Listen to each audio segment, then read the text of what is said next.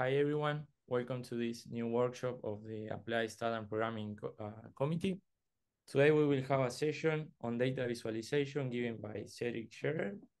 He's a data visualization designer, consultant, and instructor for engaging and effective graphical storytelling. With this, I will pass the word to Cedric. So thank you, Cedric.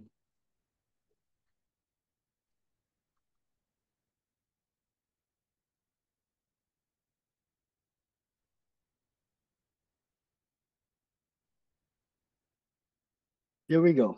I was just searching for the microphone.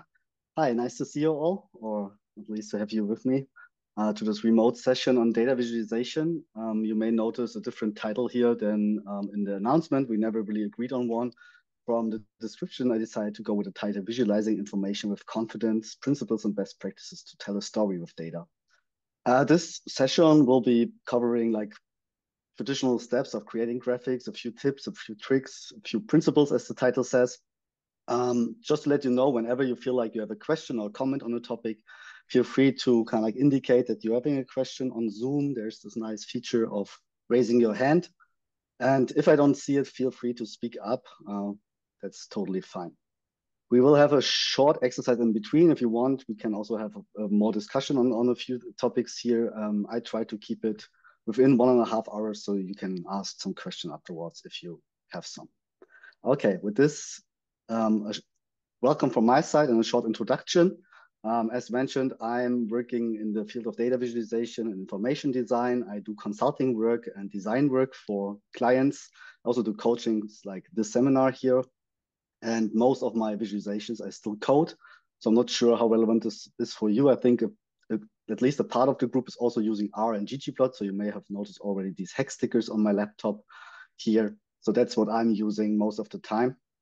And I'm by I'm by training an ecologist. Um, I went into computation ecology for my PhD project.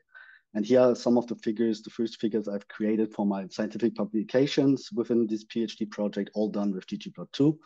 And during that PhD, I realized that I kind of like creating graphics, um, was already thinking about graphic design um, studies before going into life sciences. So um, I became a part-time freelancer. So here are a few excerpts from work I've done. So um, in the upper left, for example, in um, collaboration with the Scientific American, the middle map is together with, with the USGS. So these are digital products mostly. The Scientific American also gets printed, and you see in the lower part also that we that they're mostly doing static graphics or sometimes even printed or at least PDF reports or to be featured among the web page also do quite some dashboarding and other stuff. But if I, I truly like to work on a static graphic to really work on the details, as you can see, I love to play around with colors and fonts. And how this all started was basically the PhD when I found out about ggplot2 and then also the kind of several challenges like Tidy Tuesday and the 30-day map challenge and 30-day chart challenge, Makeover Monday, several of them around. And most of them have the same idea of giving you data or topic and then you can work with that. So here are some examples from these. Um, I collected quite a portfolio during that time and then um, used that as a, as a starter for becoming a freelance uh, designer and specialist. So that's just something, if you're interested in these kind of things, to see what other people can do um, with, no matter if it's ggplot or Python or Tableau, um, check out these, these challenges. I can also tell you a bit more later if you're interested in that. So I have a um, blog where I'm very irregularly posting some stuff, but I want to highlight a few things which are especially um, interest, interesting, hopefully for people who work with um, ggplot2. So I have this tutorial for beautiful plotting in R, which now features around 300 ggplot examples where you kind of like walk through, or I walk through what kind of things you can do, how to stylize them, but also how to create some uh, specific chart types, and so on and so on. And this currently serves as the basis for a book I'm writing, but this will still take a while. So no advertisement for that. Another post um, for ggplot users is the evolution of a ggplot um, yep, article where I explain um, some of the considerations design-wise, chart type-wise, and also from a code perspective. I've created these lollipop jitter plot, we how we call them now, you may have seen it already. This kind of like was floating around, at least in the R community, for quite a while. And finally, I was teaching this year, but also last year at the R Studio Conf or PositConf, um, and the two-day workshop and also the new workshops from this year are freely available. So if you feel like you want to learn more about ggplot2 and how to create such graphics, it's um, available on GitHub as a own web page with examples and um, exercises, solutions, and so on. Okay, with this, I jump into the content of the day, enough advertisement. So we are going to talk about data visualization. And data visualization, I guess every one of you has an idea of a particular graphic in mind when I say data visualization. And there are also tons of definition floating around. So one definition is, for example, that data visualization is any graphical representation of information and data. This includes also infographics like these poster type um, yeah, graphics it also includes all kinds of maybe childish collection at the beach or in the in the children room, um, sorting Lego stones or something like this. Um, we have information data all around us, so this makes clear this is a very general topic. To define it maybe more in the context of why we want to use this um, as a tool, we aim at least for one of the goals, which I've listed here, amplifying cognition or gaining insights, discover, explain, and or making decisions. From a more technical perspective, we could say it converts information, and here information means essentially data, into visual forms as quantifiable features. So this is more for the people who are like, well, I want to exactly measure the um, the value of a given point. We will also discuss which chart types and which encodings are useful for that and which or maybe should be avoided for here. Um, so this is more on the yeah, academic research or maybe on the business end, but we will also see some examples which are showing you the large uh, variety of data visualization types. And you could also put it more philosophical, like data visualization is part art and part science. And that's obviously you as scientists um, hopefully also have a sense for art. We don't make to make need to make everything super beautiful, but I think just a bit of care also on our scientific communication um, increases the chances that we kind of like are seen, that we kind of like get recognition for our hard work, so this is also something I want to show you how you maybe want to consider different design aspects when creating charts.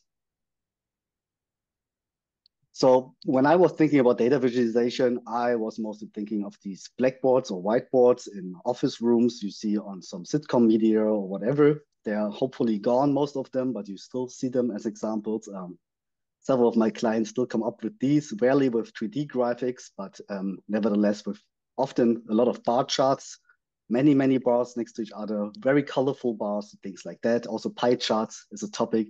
I don't want to focus too much on that, but there are certainly often better solutions than using a pie chart and especially not a 3D version of it. As a scientist, as a trained scientist, I might also think um, of a data visualization mostly like this. So some trends we want to see in the data, some relationships we want to reveal. So this is just a random scatter plot with a linear fitting here. Not want to spend much time on the topic. I don't even know much about it. You can see what's what's plotted on the axis, just more like as a template from a, from a basic um, publication in the science field. Some people might even think of these fancy dashboards. If you Google for data visualization or dashboards, you often end up with these futuristic looking um, designs. Also on the announcement I saw, there's also kind of like a dashboard colorful uh, set of visualizations. So there's a broad range. These often consist of many, many charts here, definitely also um, multiple things here which are likely problematic, too much going on on this dashboard. As you, as far as I know, are not really dashboard people. I'm not going to spend much on um, kind of designing nice looking dashboards, but there's certainly also some effort you can make. Coming back to collecting stuff at the beach, this is a project by um, three colleagues of mine, which is called Perpetual Plastic, where they actually collected plastic. Um, then, um, yeah, this is not the numbers from the beach. This is general numbers um, showing with these artistic visualization, making, making, um, raising some awareness on the topic of plastic waste in the oceans. You could also go even more artsy. These are the Patchwork Kingdoms by Nadieh Bremer. These are also actually encoding um, actual data. So uh, shortly summarized, this, these uh, kingdoms show the number of schools connected to the internet and not connected. So the underworld are schools which are not connected to the uh, to the internet, and the upper part of the castles. This is um, these are schools which are connected. And then there's some algorithm to place these colors and so on. And some of the symbols also have meaning, but not going into that. I will share the slides later with you. Um, so feel free to click on the links in the bottom if you're kind of interested in some of these projects. So if we would now be together, I would ask you to raise your hand if you know this graphic. Um, usually not many people know this graphic. Um, so there's a bit of data viz history. It's definitely not extensive here because we want to focus more on the current task of designing and um, communicating the results. But this is a, like a, a masterpiece and a milestone. So this is a, a, map by Charles Joseph Minard from 1869, so quite old by now. And this was often, well, from some people, um, entitled the best statistical drawing ever. Um, often people in the room then um, have different opinions on that, but for data viz people, especially if you're kind of an Edward Tufte reader, which is a very known person in the data visualization field, he is a big fan of these visualization. And I think looking at the time when it was produced, it's quite some impressive work. It's kind of like a, a flow diagram. So what are you seeing here? The width of the streams is showing the numbers of soldiers in, Napoleon, in the troops of Napoleon and brownish color shows the path to Moscow and the black shows the path back. And this is actually a very of reduced map, but it's actually a spatial setup here. And then in the lower, you see the temperatures on the way back, so mapped to the um, certain positions on the black stream, because not all of the um, deaths or most of the deaths were not related to, to the war actions, but actually to weather, uh, to the coldness, the icy weather, and diseases just a side fact here, because many people uh, don't know this, this is actually um, just one map of a panel of two maps. So the upper map shows the same thing for troops of Hannibal, um, but there's only the way towards their aim. And then the lower one is the one we have just discussed. And Minard did kind of like these type of graphics quite often, like some, some type of flow chart. So here you see the transport um, of livestock, of different livestock encoded by the colors to Paris during that time. And he was a statistical engineer and a lot involved in transportation, um, human transportation, but also transportation of goods. And also you see this inset map where he highlights with um, this pinkish color, which um, regions of France um, are, have joined the, the number of um, areas which are now transporting livestock to Paris to showcase that um, due to the to the building of railroads, uh, railways, um, these kind um, more distant areas were now connected to Paris. And he also did some other fancy charts. So this is one from 1845, one of his first charts. This is actually um, also showing some kind of flow. This is um, indicating transport of goods along the uh, canal in Paris as well. And actually, it's quite interesting because the x-axis shows the distance of the, um, the travel of these goods, and then the y-axis shows the um, amounts, and which means like that the area um, has some meaning as well. And also it's pretty interesting that he has written back then or said back then that um, he shows or he's kind of convinced that these kind of visualizations show promptly what written numbers only give slowly by arithmetic multiplication. I think this is some important thing here. We want to chart something to tell a story to make the insights more quicker, more easy. And so we should also always aim for that. This is maybe not the best example for this because you kind of need to dig into that graphic for a moment to understand it, but I will give you also some other examples. Okay, we now have a short mental exercises. Usually, if we would be in a room, I would let you draw that, but now you can just think about it, and then I will talk about the solutions. If you if you want to share what you think um, is the answer for yourself, then you can also share that in the chat, but it might be a bit more difficult. So the question is, if the year is a circle, where's March and December in your mind? I give you a short moment to think about it, and then we'll continue with the results.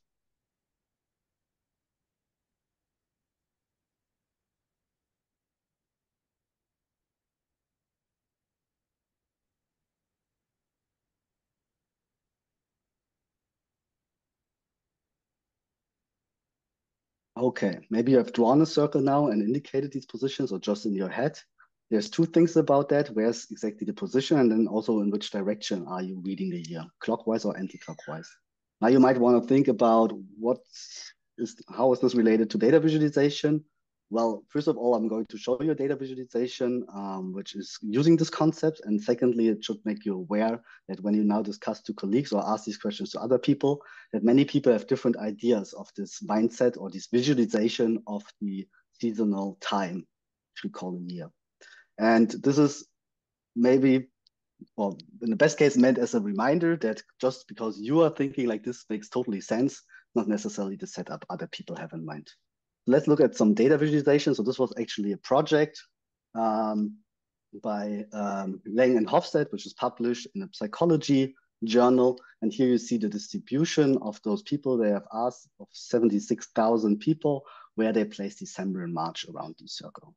And now your points may fall within these um, 11 o'clock, 12 o'clock, 1 o'clock slices, or maybe 3 o'clock slices for December, same for March, or you might be placed in some areas where it's completely different from what, are, what most people think. And then as mentioned, depending on where you place it, might be counterclockwise or clockwise. So it turns out most of the people, three, um, three, fourth um, of the people kind of read it clockwise, but there's still quite a group um, of counterclockwise people and even people who don't really have an idea about that.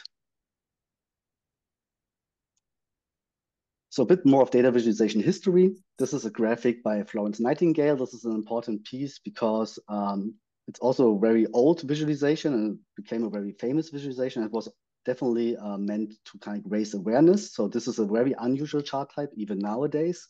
Um, I will come to that in a second.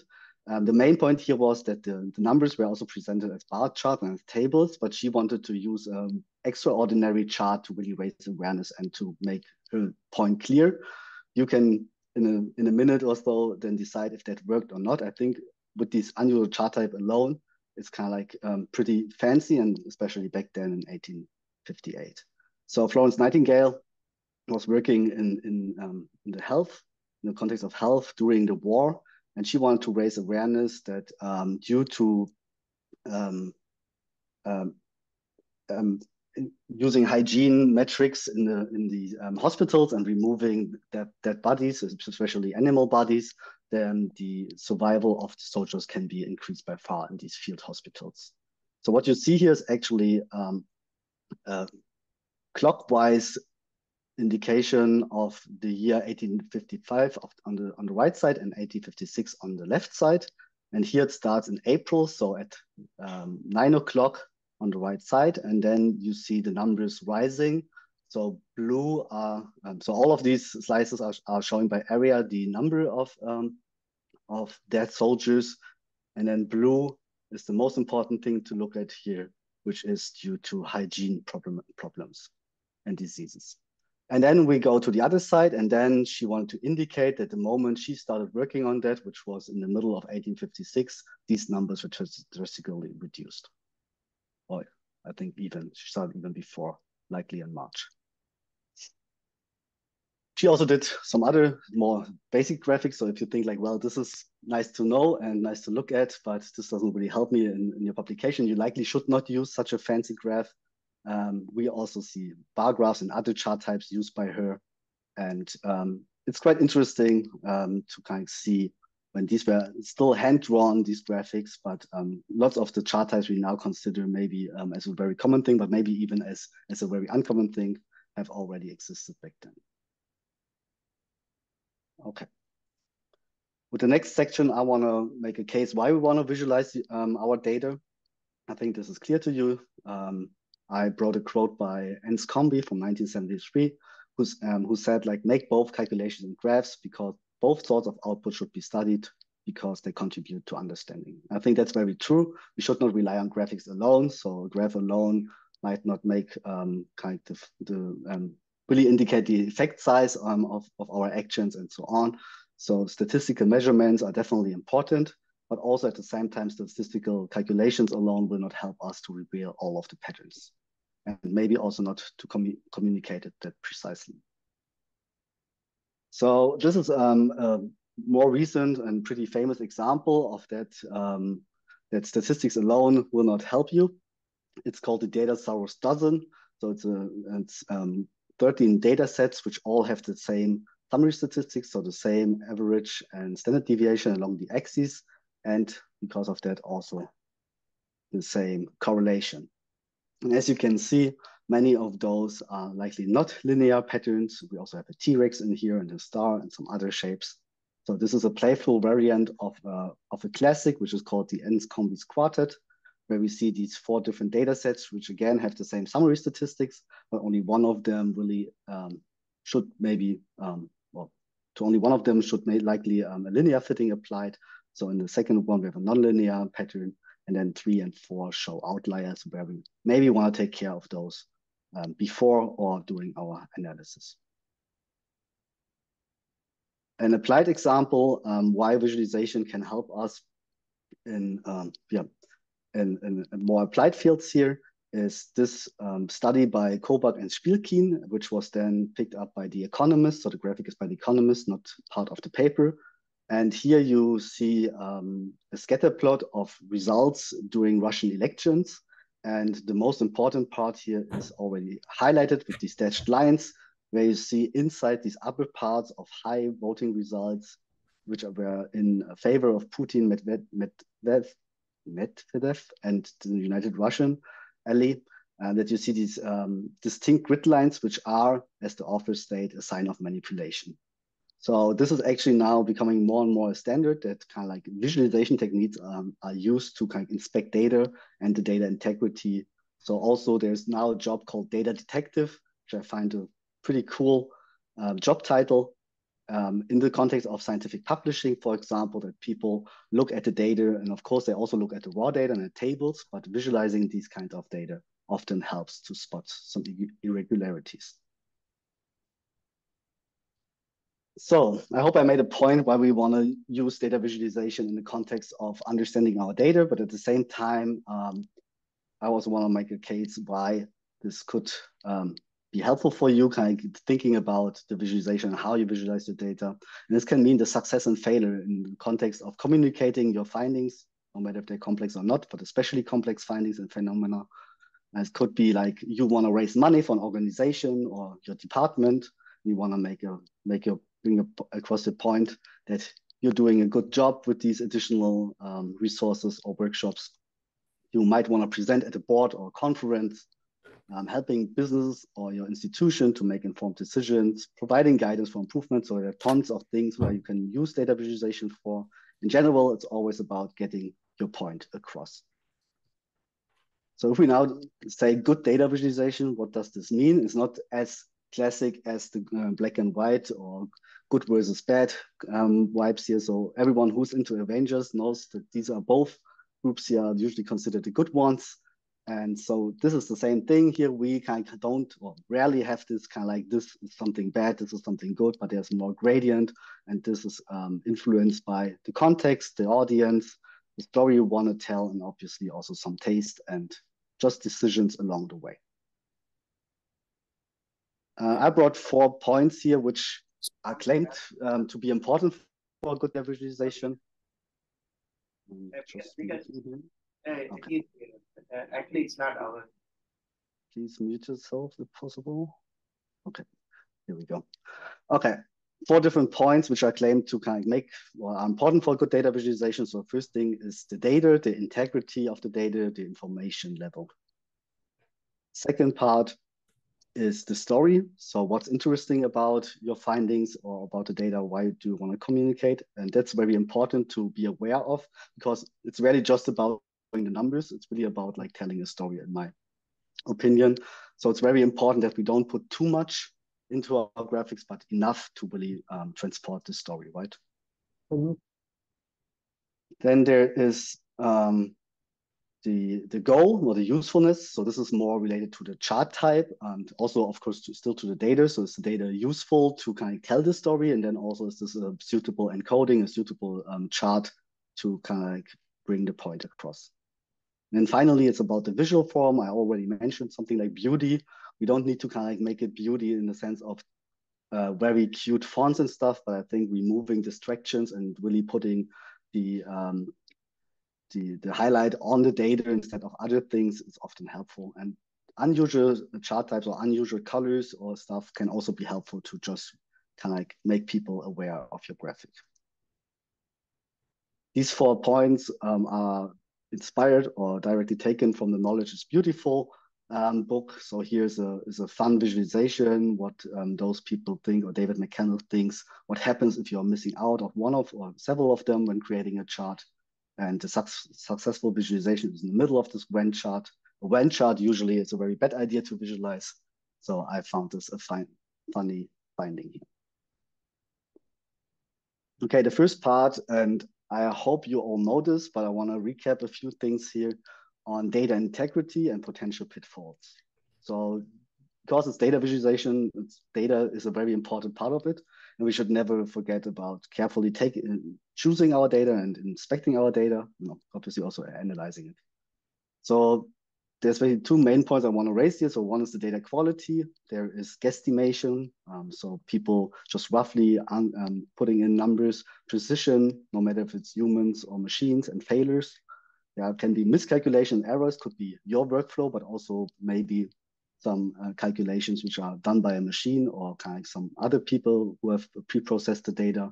Incomplete data and missing values can often be a problem and summaries and aggregations then uh, making um, very precise um, information out of these. It's sometimes difficult and there can be kind of things going wrong when aggregating data, obviously. The other thing is that um, our data set is always uh, just a subset. So this is something um, when we are communicating, which we should keep in mind, right? So we should talk about reported crime, not crime alone. Crime is just a placeholder here. Could be also some other things, which I will point you to on the next slides. And it's always showing just the historical or present state. This is more a reminder because if you're wading deep in your data, and that's all of these things are likely also some things I already run into, um, you might forget about it. So it's always a good idea to come come back or step back and uh, think about the actual meaning and the actual source of the data. So as a reminder here, our data is never a perfect reflection of the world, which relates to the subset part and um, as an example, I brought a fun visualization of some Meteorite data, which I've created as a Tidy Tuesday contribution. And I think it's 2019 or so. This was a fun visualization. So it was more about like playing around with, um, with the functionality of ggplot and um, creating these old school space observer design here. And I want to focus on the left side here, where we see the numbers of meteorites from 1500 to 2000 something. And there are two things here. The first thing is that we have very low numbers until 1800, almost 1800 or 70, 75, which is obviously not due to the number of meteorites which are falling on, on Earth, but more about the communication age and the rising um, opportunities and possibilities to kind of like record these meteorites. And then you see this drop at the end, which is um, definitely not a drop to, in, the, in this year, but this is something which I see quite often and also happened to me that um, people get excited about the latest data, but forget that the, the year is not completely done, for example. So here it's the case that um, the last year of this line chart was not fully recorded yet. And as this is the sum of a number, it's obviously that in the last year, which only contains maybe here four months or something like this, um, it's not a complete number. But that's something um, I see from time to time. So it's a subset in terms of um, the complete data here, obviously what people can measure, but also what people have reported yet. Another thing about the guesstimation example, this is um, the uh, penguins data set and it's showing a histogram of flipper length. I picked these very thin bins on purpose to illustrate that um, some values seem to have irregular high numbers here, not uh, fully consistent pattern, but you see that often the five step measurements are um, more likely than some others. So this is now um, pretty similar to the example we have seen on the Russian elections so these are just values humans like to use. And I would claim here that some of these numbers are kind of rounded in favor of harmony or however you want to call it. And then as an example about um, talking about subsets also explicitly, I came across this visualization at some point and it might be a, a nitty pick here, but I was not really um, um, enjoying that it's um, stating an absolute state, basically where are New York's rats, but actually it's about sightings, right? We don't know if the numbers of rats is that high because more people have seen rats there. Likely, as we know from rats, it's kind of like a combination of both. So where the humans live, there are more rats, and where there are more humans, they also see more rats. But in general, we should be very careful in uh, reporting as well. So when picking um, an axis title or chart title, here's another example using the same data set, which is much more clearer about that, talking about red sightings instead of um, where are the reds. So again, this might be a bit picky, but I think this is important, especially if we talk about uh, metrics where it's maybe not that clear to people um, how these numbers have derived. And it's easy to trick yourself like saying like, well, there is this, this um, absolute complete truth in the sense of how we communicate um, what our charts are showing. Okay. Again, if there are any questions or comments, feel free to raise your hand or speak up. Feeling a bit like talking into the void, which is okay. Just want to know if you're still with me. And also, if you feel like I'm missing out on something, feel free to add that in the chat or speak up. Okay, perfect. So the context is related to um, different things. Uh, the first thing which we should clear about is like the type of information graphic we want to create. Um, here we are focusing on two specific ones. And the first thing is the type of information. This is, is, is the information conceptual or measurable? So this is more about, is it an infographic or like a, um, a scheme? Or is it data visualization, a chart in that context? We are focusing here on the measurable end of this um, gradient. And then there's another gradient, which is the purpose of the graphic. So is it about exploring or is it, is it about explaining the information? So we are going to focus on explaining the information. Exploring can be interpreted in two different ways. On the one hand, um, exploring means obviously when you're kind of getting the data, looking at it internally, talking to your um, colleagues, finding patterns and the story to tell. And could be also in the context that instead of um, creating a graphic where we walk through, um, so the viewer gets basically the main points presented in the terms of storytelling. It could be also that we let users explore our data. So basically starting with a neutral graphic and then by allowing people to filter the data or something like that to explore the data. Some people here, Alberto Cairo, also um, suggested to make this a less um, a binary gradient, or makes the same binary gradient, uh, a two-way gradient, in, by including another um, level of it. So um, not just exploratory and explanatory, which are for efficient and effective um, communication in a functional context, but also for affective visualizations, which now would include more like these playful, artsy visualization. So I think you all know some visualization which look like flowers and more on the emotional, creative um, level. So the Patchwork Kingdoms, for example, would be also more in the affective context or these installation of the plastic amount in the scene.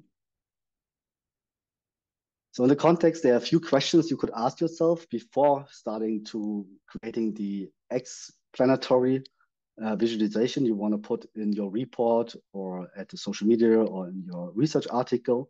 So the first level is the who level, the audience.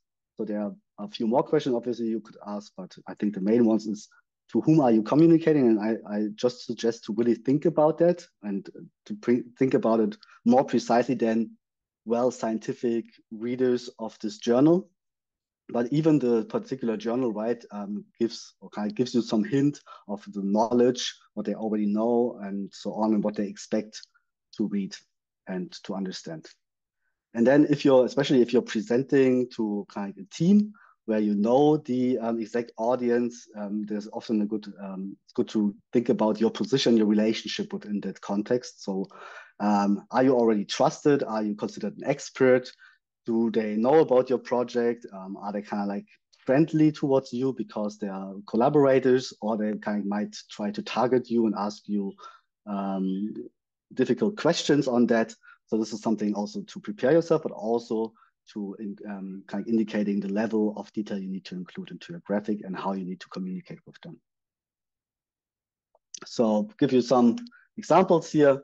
It could be colleagues and experts. So these are more the scientific um, audience, right? They likely understand the topic, likely. Also, again, depends a bit on the field where they're working, how general the journal or the conference is, for example.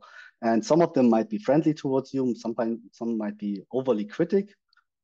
Um, it could be also like if you're working a lot on social media and um, web presenters and more like with the gray audience, uh, kind of like a, a, a, bubble of people you don't um, know in detail. Might be I termed in here spectators and critics. So there might be people who just love everything you do, or there might be people who just want to criticize you because you're kind of taking a certain stand.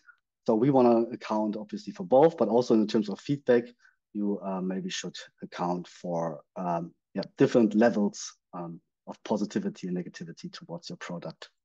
Um, one example here being family and friends. If kind of having having a nice family and a nice circle of friends, they hopefully give you a helpful constructive feedback, but at the same time, they might not be into the topic so much. So they like might like your visualization, for example, but um, give you a different feedback than the other two groups. So it's always a good idea to keep that in mind. And also when you look at other visualizations, kind of like we have seen a variety of different ways how to communicate with data. Not all of them are usually made for the same audience. The next level would be the what, so the content of your visualization. So some of the main questions to ask here would be, what do I want them to know or to do maybe? So it's not only about sharing insights, but maybe also to kind of like make a point and to suggest some action. How will you communicate with them? Very important. Is it a report you send out and people read it on their own? Or is it something you present to them? Or is it someone on the, on the web looking at your graphics? There's a certain level, um, specific level of interaction with these people. So in the terms of a printed report of, or something you put on the web, you maybe want to add more context to it. While when presenting, you want to remove some context because you can talk and you can answer questions to these graphics. And then also what tone do you want to set in your in your communication? So is it rather a friendly tone or is it something which is dramatically um, calling for action? And as an example here, just, oh, no, the example after the next slide, sorry for that.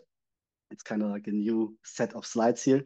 So first of all, um, when, when thinking about um, communicating to these people and also not just the medium, but also in terms of what you can control. There's this scheme by Andy Kirk, which I've modified here, where we have on the left hand, we have the visualizer control. So this is basically you when you're creating the graphic. And then we have the viewer control on the other end of that. And in context of perceiving, so what do the people see who they look, um, which look at, the, at your graphic? uh, you have quite some control over that because this is what you put there and we should like focus a lot on the on this part like how do pe people perceive our graphic because this is where we have the most control over and then there's this interpretation level which is in between what what does it mean for the subject um, so this is where we can lose control and then in the end how they comprehend this information and how they interpret it what it's what it's meaning for themselves this is something we want to control to some level by guiding them and to not kind of pointing them in the wrong direction. But if there's like a certain mindset and they want to find out about um, about a certain thing, they will kind of find a way to criticize your graphics. So it's also not something we want to make everyone happy, but those people who matter here, we want to make sure that they kind of come to the right conclusion. And about the toning, this is the, the slide I was looking for. It's um, already just the kind of the tiny choices like colors and wording, which can already change the tone here. So this is an example about um, two maps here. The left map is um, a rework from a font text map, and the right one is a just a different using a different color scheme. And you already can see how or likely uh, feel already that these maps have kind of a certain tone. Because red is not only the color of love, but also of war and aggression, while blue is usually known to be honest and calm. So kind of these are very different ways. At least to me, I'm a color person. So if you feel the same, um, this is definitely one of the claims where, that you should think about colors, even if it's only one color, not gradients already. And about the wording, um, already here, just the title changed. Um, already wording obviously puts a lot of, um, well, yeah, a lot of priority um, is on the title. And here you can set the tone, obviously, by pointing in one or the other direction. So there was a study, which um, not every detail of the study I love, but in general, I think that that um, knows every one of us is that the title is taking taking um, a lot of attention, and this is what people come um, come across first. So um, so um, there was the study where they showed that like I think it was half of the people, half of the group um, whatever the title stated, even if the chart showed the opposite or no trend at all. So the title or being careful about the title is something important too, if you add the title anyway. But this obviously also applies to research articles, presentation titles, and so on and so on. Okay. And also the choice of the encoding, we'll come to encoding in a second, um, might, might matter. So here, or the scaling. So the, in the middle, you see the same arrows, but with a different scaling. So these are just becoming tiny, maybe too tiny for the, for the small ones. But again, they are changing the tone of these uh, maps. And on the right hand, um, there are bubbles used instead of these arrows, which again change the message kind of. And then it's obviously also about like the, the story itself or how much do I want to include to bring my point across or what's exactly the point. So this is just three different ways to show migration data here related to Europe. On the left hand, the original map in blue, but then we also have a zoom out version um, of like which groups we are looking at. So this is also about regular migrants. And then the, the on the right hand, you see a graphic where it's about the timeline of migration events. So these definitely all tell a different story, but also are likely um, yeah, for different audiences and different contexts. And then the last part is the how. So this is the evidence here. We are kind of like back to the data um, level, the information level. So what data is available to make my point? This is basically also what I've shown you here. Um, you can obviously pick data um, and there's nothing bad about it if it underlines your point. At the same time, obviously, we want to be transparent. So um, we want to talk about patterns which really matter and not kind of like remove data on purpose to hide something which might be more important in the best case. And it's always a good idea also to prepare yourself in that context for the context. Um, when you're creating a visualization, also when you're presenting a visualization, while designing that, you might also already think about potential um, criticism about it and maybe also counteract to it, proactively address it.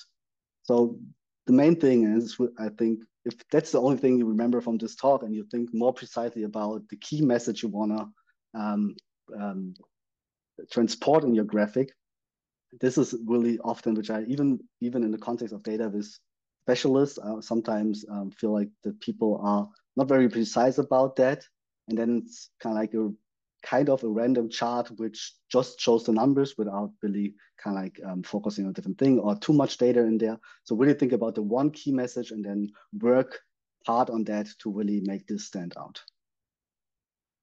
Um, in general, which um, what background information or which what information in general is essential and what's ir irrelevant. So this is something which I also often see in scientific context. If people collected a lot of data, they also want to show that they have collected all these data and we can put it in the appendix or something, but it's rarely a good idea to use a color, a shape, and the size of our bubbles to indicate three different variables. So often less is more. It's definitely um, a good rule here as well. And at the same time, think about your audience. So do you need more or less background information and also detail? With a more expertise skilled um, audience, you might also be able to include more levels of um, of detail. And also think about potential biases of your audience or some of your audience. So basically be prepared for kind of nasty questions and think about what factors could weaken your case and if you can address them proactively by call out in your graphic that this is um, just a particular data set and you look at this because of and some reasoning for that, for example, or um, also adding an alternative graphic if you know that the people might be um, um, not really aware kind of how to read log scale graphics or may, might be even consider this as cheating, maybe come up with another version where you have a non-log scale and you can make the point why a log scale is important as one example. Okay.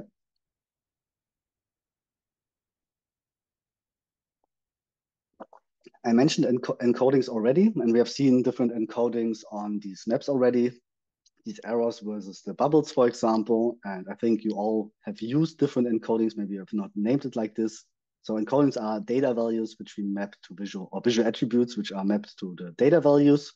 So every ggplot user now um, should kind of like um, uh, be aware of like mapping data values to visual attributes. This is what we do with the aesthetics, right? And this is exactly what this is about.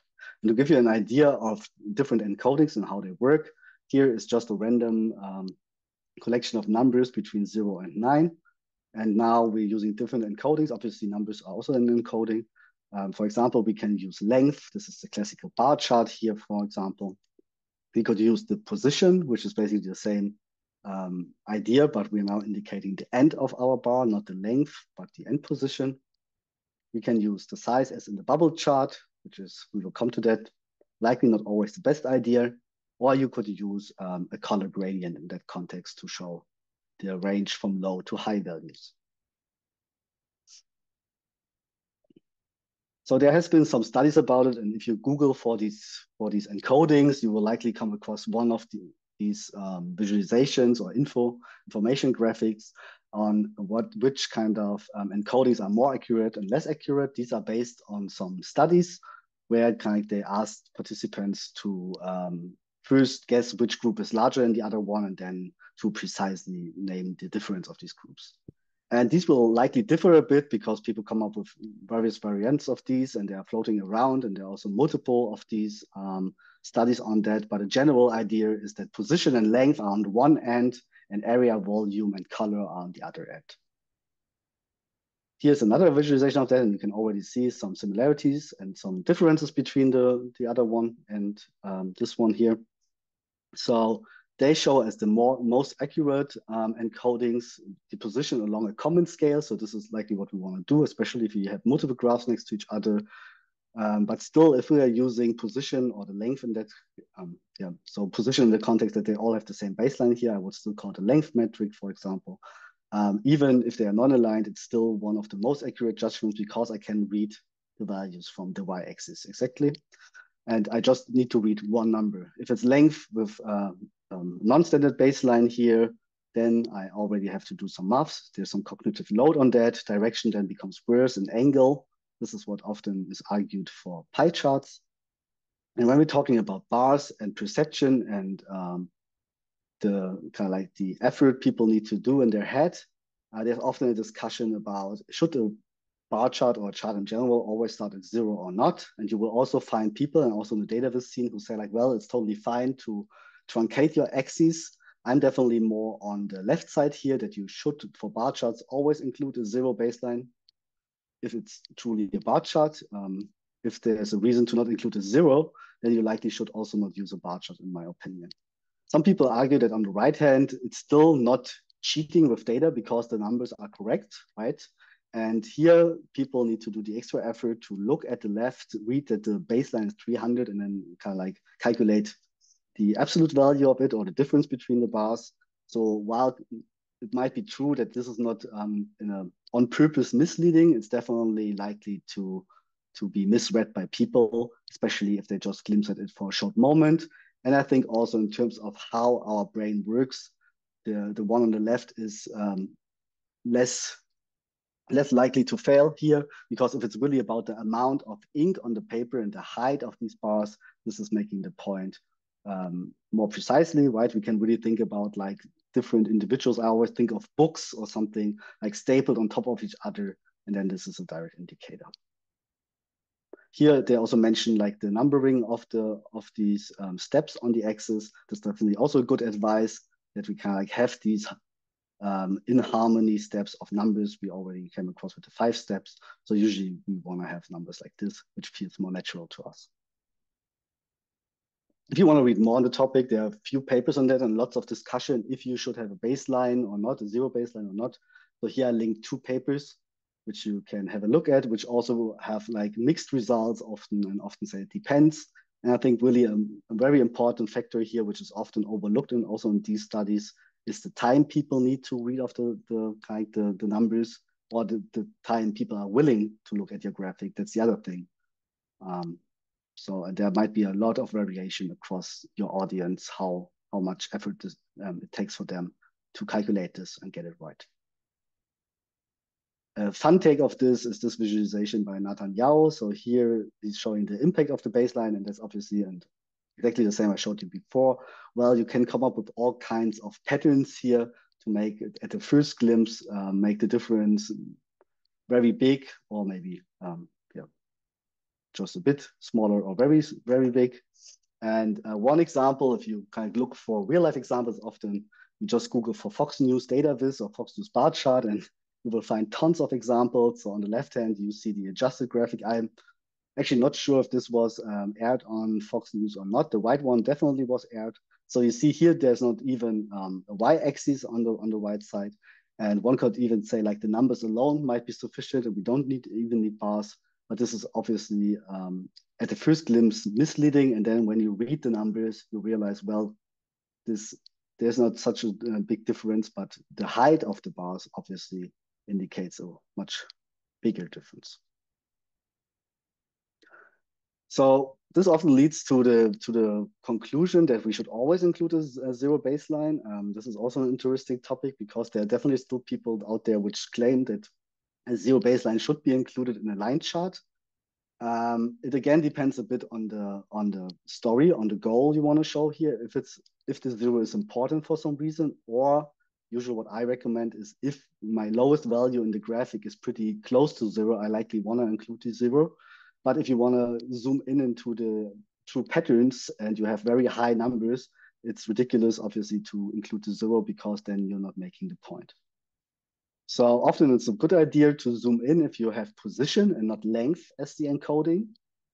And I would even suggest something different here. So I don't really like that on this example that the line is starting at the very bottom of the chart. I often follow here the, the same um, idea Francis had. Um, and you can read more in this, blog, um, in this blog post here.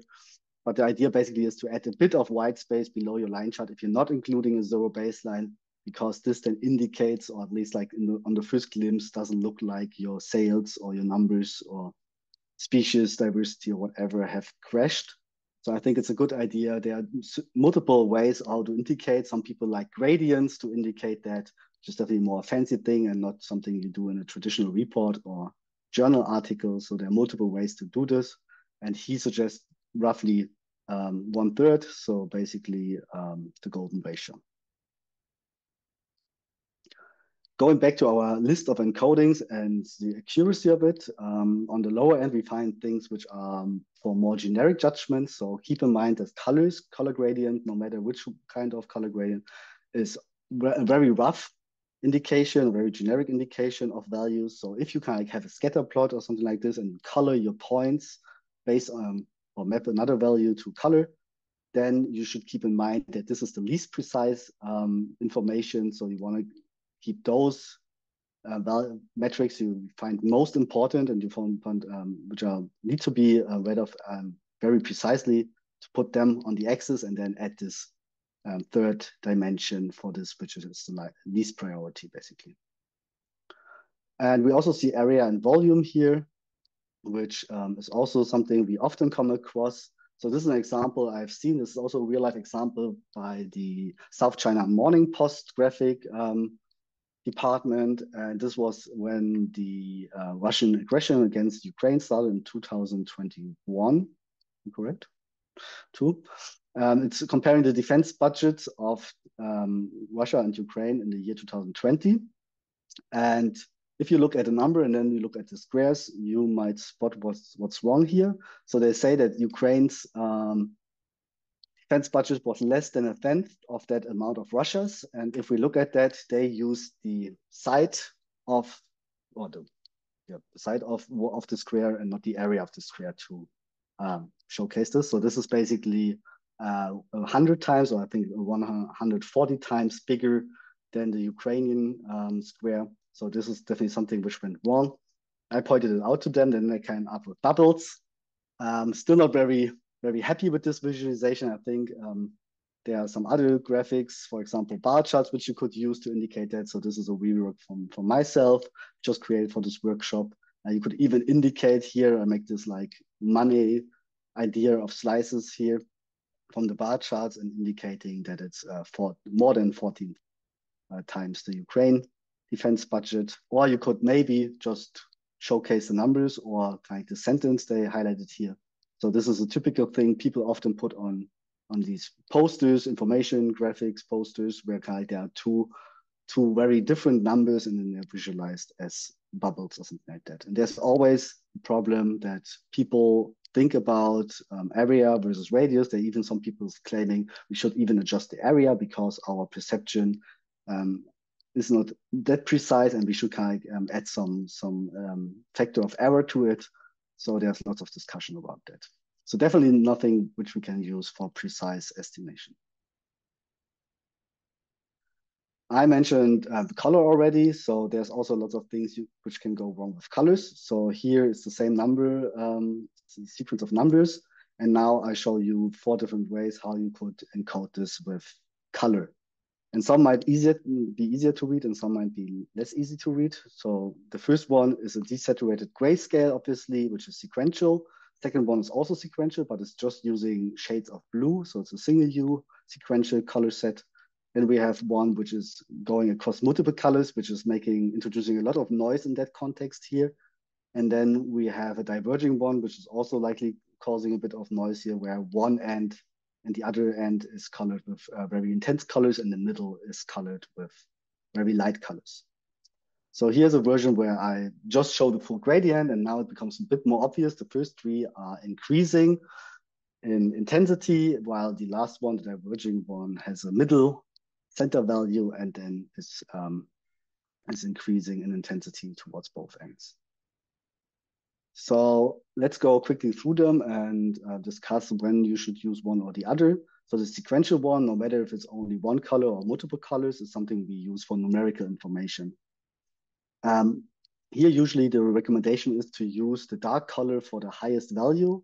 Uh, I don't like this definition for two reasons. The first reason is that we likely well, we are, we are often interested in the highest value, but not always. So sometimes you might be interested in the lowest value, right? A perfect example someone brought to me in during a workshop was that his colleague was uh, using the darkest value for the highest p-value and almost white color for the lowest p-value. And um, if you're believing in, in significance or not, then you um, if you believe into it, you you likely have um, also visualized p-values before and know that um, that indicating these by gradient where the where the lowest p-values are almost invisible might be not the best idea. Or the other example I usually came up with is uh, something like uh, sea sea depth or ocean depth, where we might likely are more interested in the deeper areas than in the shallow grounds.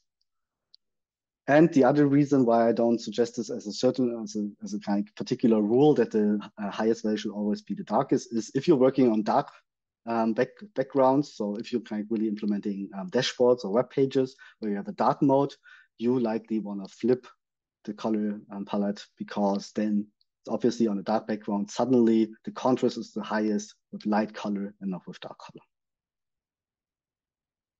So there's always this discussion. So this is just um, um, illustrating this case. And there's also some color sets where people have different opinions about it. So I think on the left hand, it's clear that the direction of the of the color palette with the dark colors being low life expectancy here on this map um, is putting a lot of focus on those countries.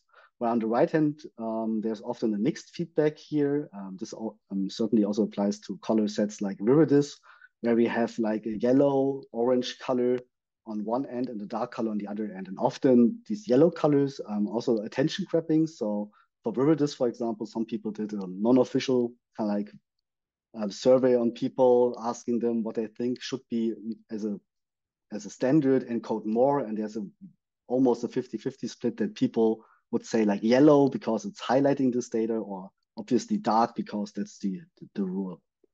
So be careful with this and always think about and maybe flip these and just look at them or maybe ask your colleagues and friends what they think about it. So this is an example. If you put the same graphic on a dark background, the picture suddenly changes. Well, on the on the left hand, I would still argue that the red one is still very prominent, even though it's getting dark. Um, if it's not, um, if it's inside the continent here, for example, it still gives a lot of emphasis because red is a warning color here. On the right hand, now I would argue that for almost everyone, the uh, light colors, the yellowish colors are popping out. So keep that in mind. The other type is diverging. So this is also for numerical information where we have a critical midpoint, which means that the midpoint, the, the light color usually should um, have some meaning. So it could be the, the average, obviously. It could also be a baseline. So it's often a ratio value like zero baseline or 100%. And it's actually a combination of two sequential color sets. So in grayscale, the desaturated version, you will never find um, a set which really um, works in grayscale because by definition, the color intensity should um, increase to both ends and also in the same intensity. So there's often the question, which one is the correct one? And um, there is no definite answer about that. It again depends on your story. While with one, the sequential one, you focus on either the, the high or the low values. Diverging one obviously gives you a more nuanced um, picture and pushes the the normal, the middle value range um, uh, categories into the background here, right? We indicate those countries with a high life expectancy in green, and then those with a lower expectancy with this purple color in that context. So again, it really depends on your story. If you just want to talk about those which have a lower life expectancy, well, pick sequential one. If you want to showcase like these are the highest ranked and the lowest ranked ones, then you likely want to use a diverging one. Again, if you do this on a dark background, um, you might want to flip these. So we need a dark middle color and then light colors towards the ends. So here's the same, but um, inverted basically on a dark background. And then talking about uh, the center value or the midpoint value. Here on the left hand, it's uh, the middle of the um, of the full range here. And on the right hand, I have used the, the mean value and you see how it shifts. And the important um, point I want to make here, not saying like one is better than the other. Um, there might be reasons to use um, any of them, but that you see that the very intense green now is gone on the right hand because we should make sure that the ends um, or one step to the left is the same as to the to the right or um, going down one step is should be the same as going up one step. So you see, because the the midpoint value, the dark color now is not um, perfectly centered um, across the range, we see that we lose some of the of the um, light greens because we don't have as high values as we have low values compared to the average value. And the last um, type is the qualitative color set which we use for categorical information. And this is often the most frustrating and confusing one in the end. Um, the rules are actually pretty clear because we, if we just want to of show all the data without highlighting a particular one, we want to have something, um, some set of colors which have the same perceptual weight.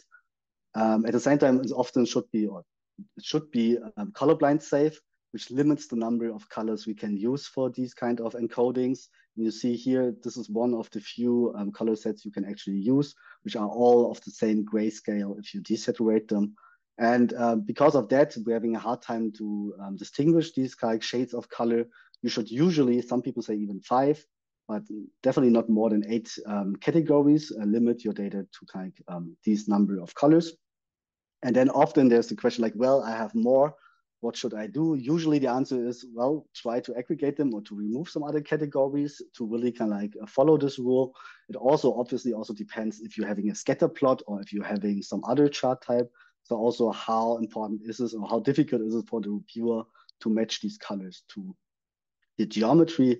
And often if you really have like 10, 12 categories, it's often from my side, the recommendation to group some together as other. And if you still want to show them, you add a second graphic either next to it or in the, in the supplement where you show the rest of the information.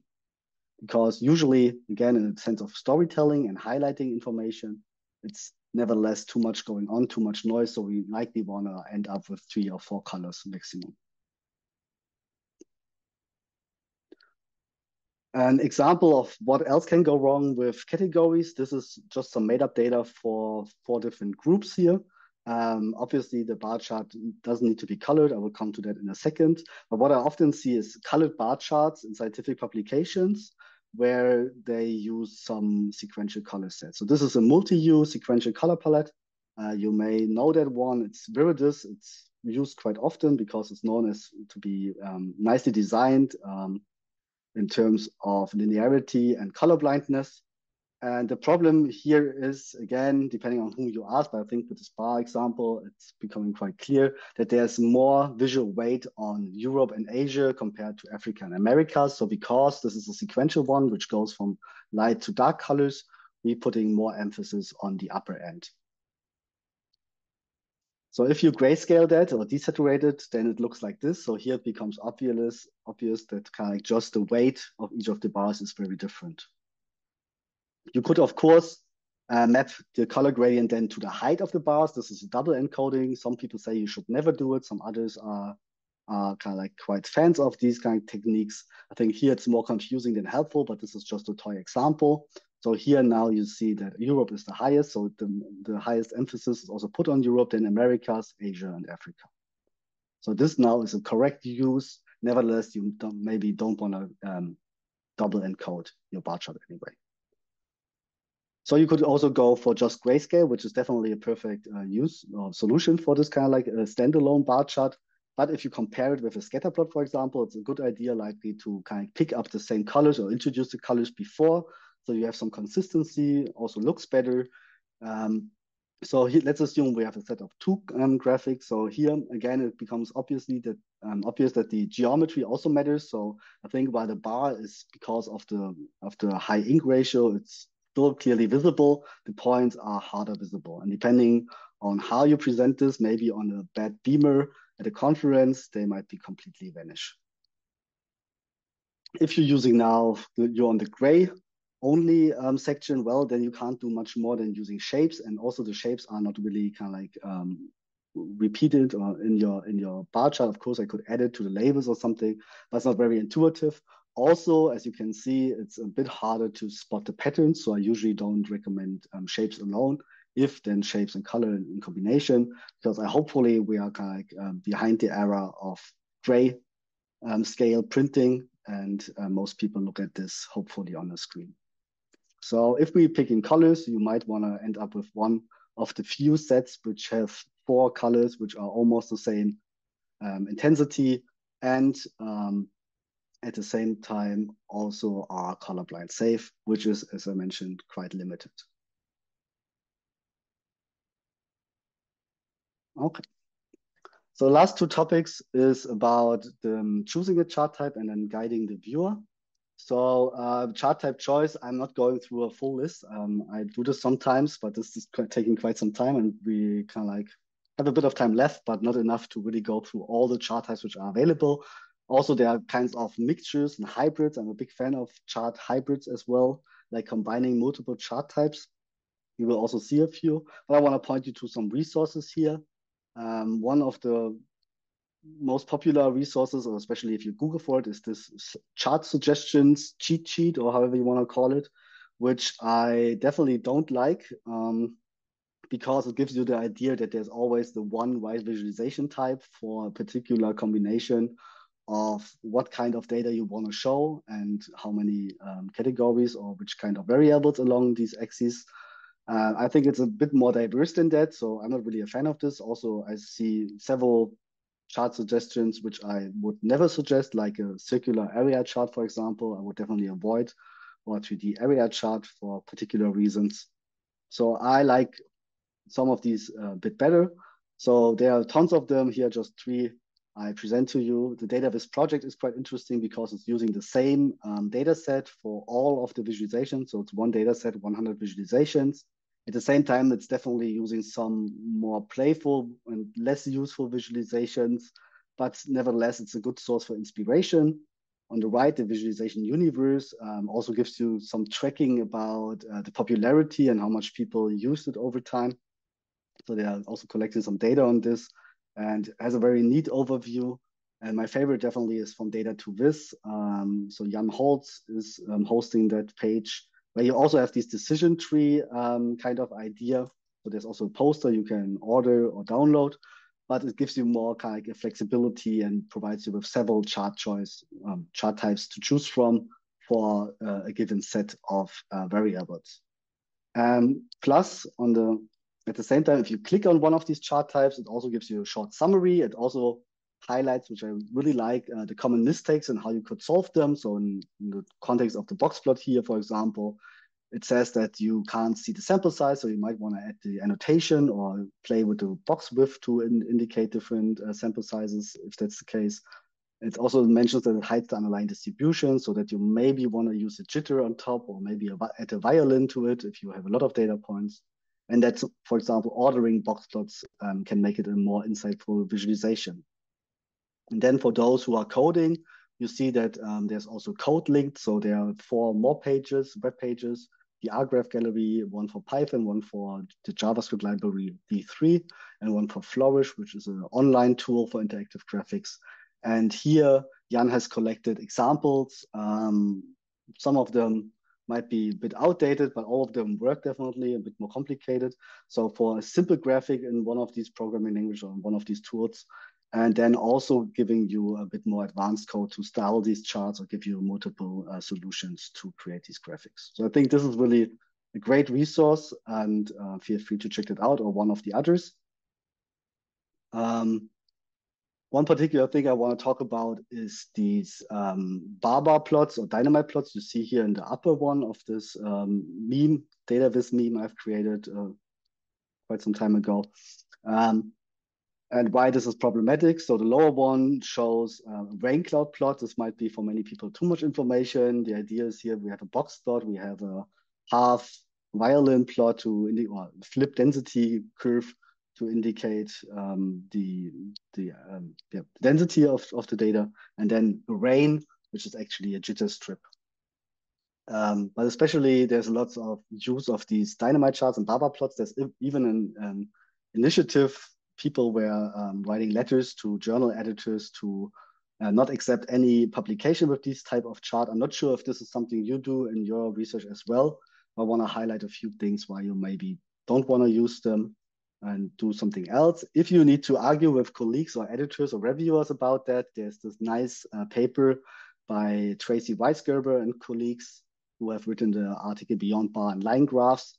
Uh, so this is something you can um, cite. This is published in PLOS Biology, um, but there, I'm pretty sure it also applies to other fields, and there might be also other similar versions of these um, papers by now for your given field of research. And she's showing some of these uh, graphics, which are pretty common in life sciences um, and in medical um, context.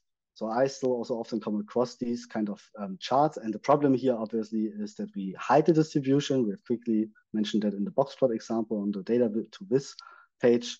And she and, and her colleagues are now showing uh, multiple um, distributions, which all would result in the same dynamite plot. So here's a symmetric one, but there could be also an outlier, a bimodal or unequal sample size here.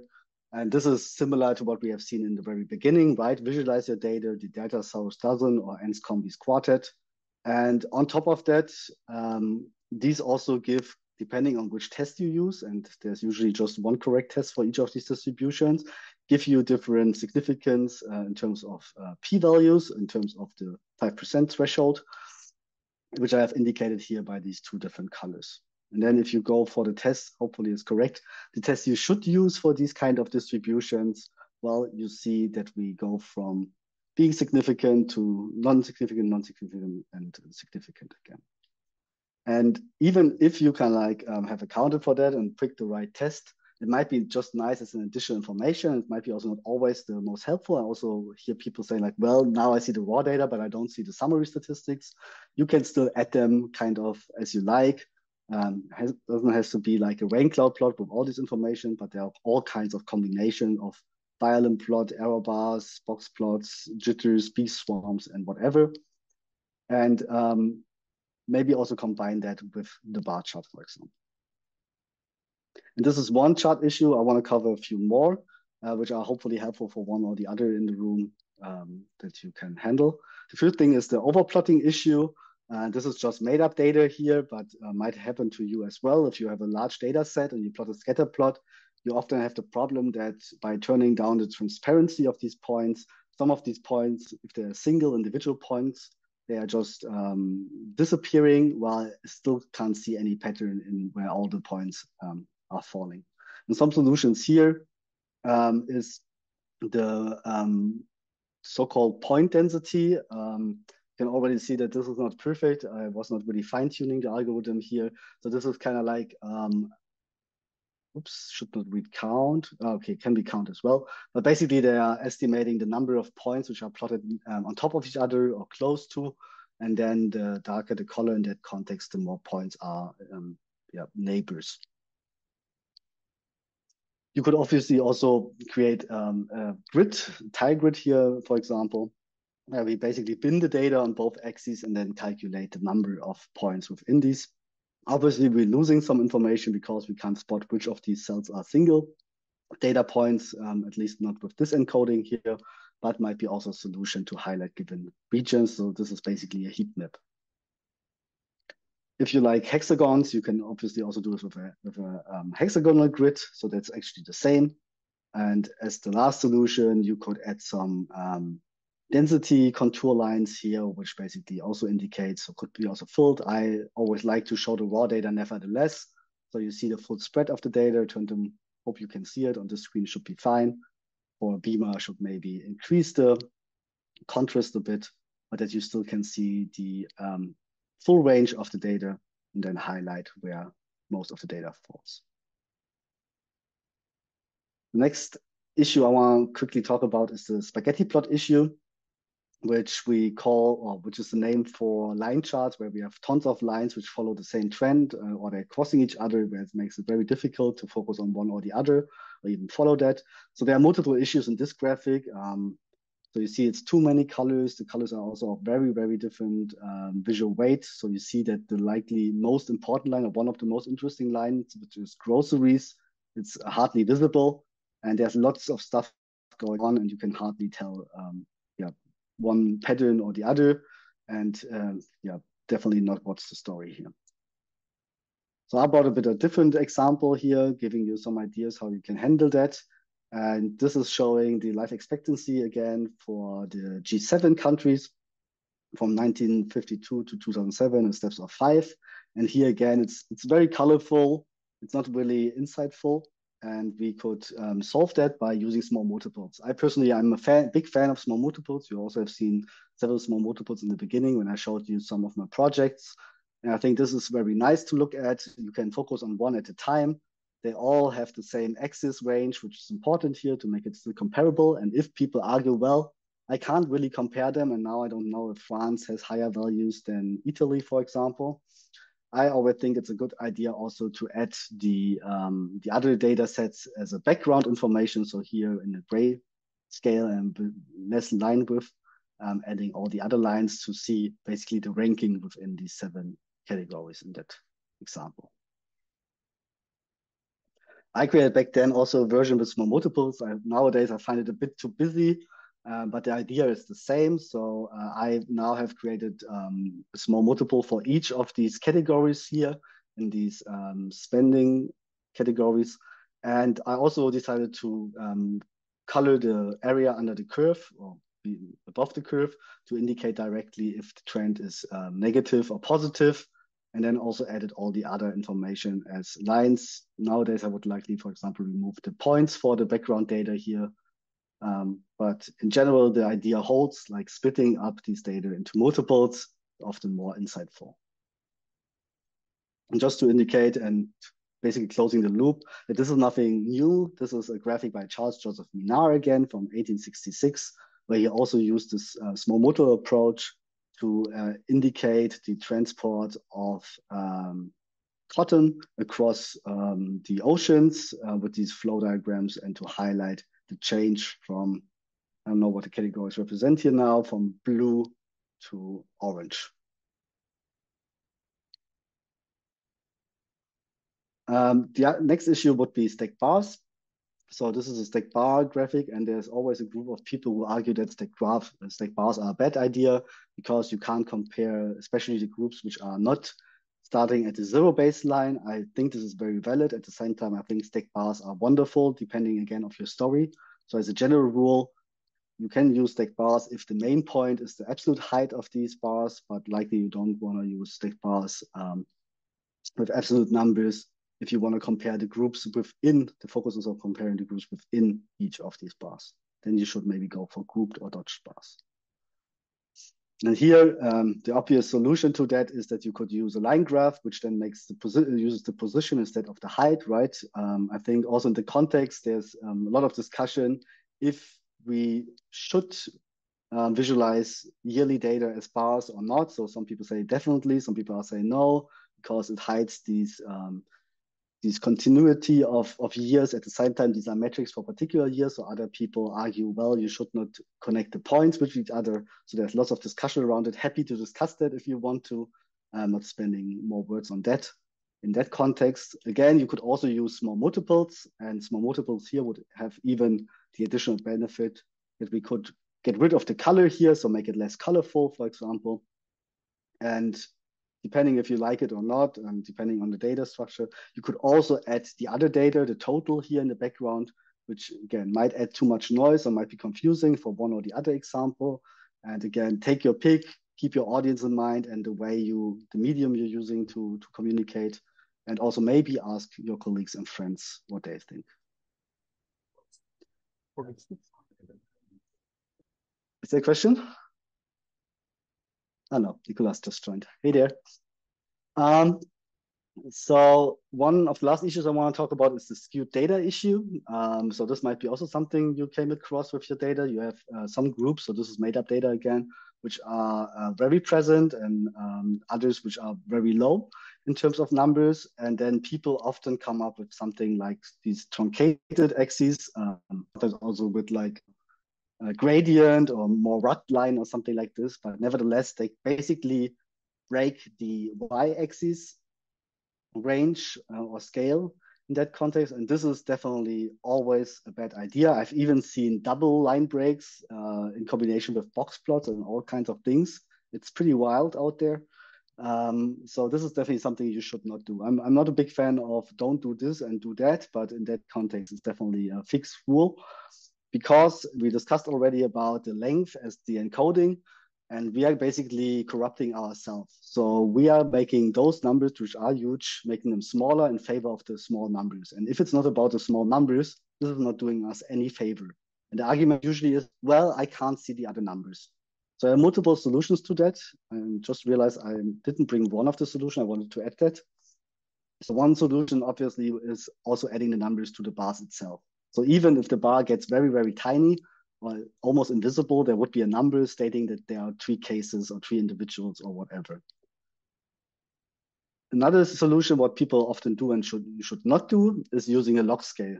A log scale per se is definitely totally fine if your audience can read it or if you explain it carefully.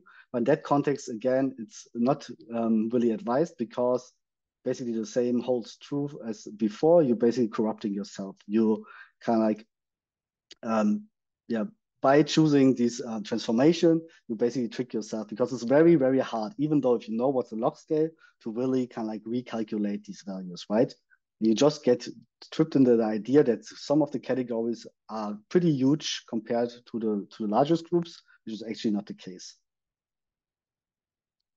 For for points, this is a complete different stories, right? We are now talking about bars in this context. So what I usually like as a solution, depending again on the story and the detail you need to provide, is putting together all these other groups as other. Obviously, only if this total makes some sense. So here I just kept the three main um, groups and then show that all the other groups are not even half as high as the three bars of the main categories.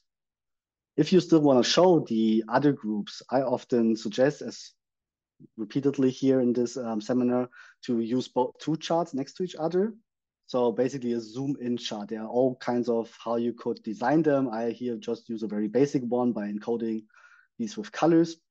You could obviously also have the zoom out um, visual things, or um, add some lines to it, or connect these two charts with each other. But in general, this might be a good solution if you really want to precisely also report the numbers for the small groups. And the last issue here is the dual axis issue, which um, is about yeah these very common chart types. Actually, I hope you're not doing this. If then, please consider to stop, because um, these kind of uh, charts can be scaled in all kind to all kind of ways. to make different um, different points. So here's just uh, four examples for different types of um, combined data where you should not do this. So it's sometimes the same unit, sometimes different units, sometimes different um, metrics even. And the only use case usually where you want to use two axes is for encoding the same thing, but with a different um, unit.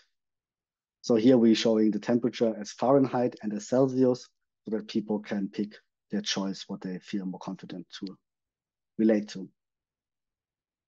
Uh, you might know this um, fun thing, spurious correlations. If not, check it out. It's a web page collecting examples of correlation is not causation. So here it's the divorce rate in Maine versus the or correlated with the consumption of margarine. And you can see that we can match it by just picking the right scale on one or the other if the overall trend is the same. Uh, what also happens is that people basically draw the zero baseline and try then to compare them to, to a zero baseline. That might happen if, if people are looking at that. But I find it more um, worrying that you can basically come up with all kinds of impressions. And again, it's the same idea as not including a baseline in a bar chart. You could argue, well, I have written the, the unit, uh, the, the exact labels, the uh, numbers next to each, one in red, one in blue. So if people don't get it, it's their fault, but um, don't overestimate the time and also the effort people want to put in your graphic. And you might definitely want to have the full control in terms of that kind of the story you want to tell them um, comes across. And I think this is more, if it's on purpose or not, more likely to go wrong in that context and is, is more often used to really to, to um, kind of cause, cause bad perception and then really kind of like uh, making it a better storytelling piece. So solutions to that is again using two graphics. Um, if you then argue, and that's what I usually hear, is that you can't compare them both, then the first question is, do I really need to compare or want to compare them both if it's different metrics or different ranges of data? And if you want to compare them, then it might be um, an idea to create um, this kind of um, chart where you still use lines, um, but you transform them to um, percentage change so you have basically both lines starting at the same zero baseline, and then you can compare the trends of them, these two lines. And now we have the same metric and the same range on the axis and could, can put it on, on one chart here. Okay. Um, I want to stop a bit early. I can quickly go through the examples here. We have a few more minutes left, but I want to keep a bit of time for you to ask some questions and cover some other topics. So this is actually a pretty simple thing, and I'm also not sure how much it applies to your daily work. I hope also to see more guidance in um, scientific papers, for example, and general in communicating these um, findings, um, which is mostly about adding call outs and annotations to your chart.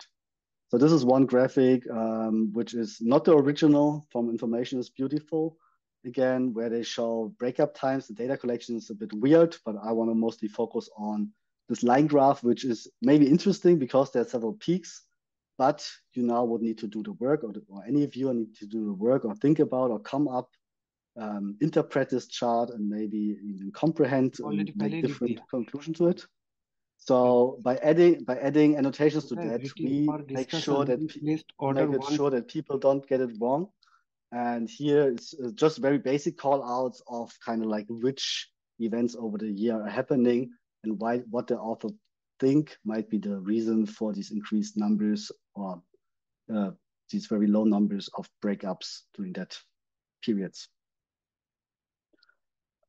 I always like to quote John Burn-Murdoch here. He's a database person at the Financial Times, or data analyst and visualize, visualizer.